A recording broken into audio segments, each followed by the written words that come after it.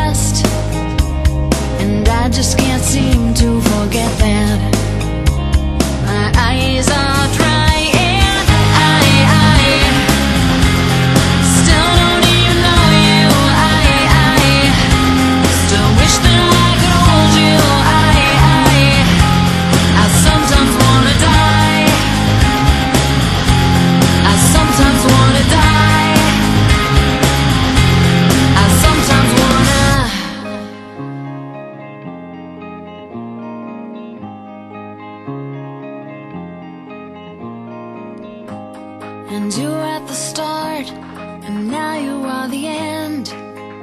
And you left me with nothing to defend. I need the voice of a good friend.